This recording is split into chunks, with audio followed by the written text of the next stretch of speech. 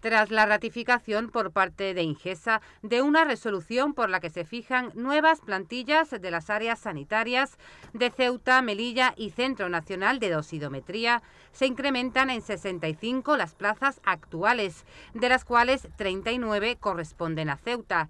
Esto supone que los nuevos contratos se podrán ejecutar mediante interinidad, ofreciendo estabilidad y sustituyendo a los contratos eventuales de larga duración.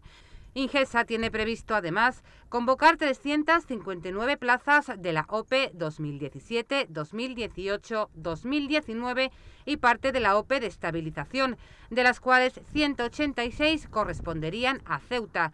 El principal objetivo radica en las políticas llevadas a cabo por Ingesa para reforzar la estabilidad de su plantilla y reducir la temporalidad de sus trabajadores.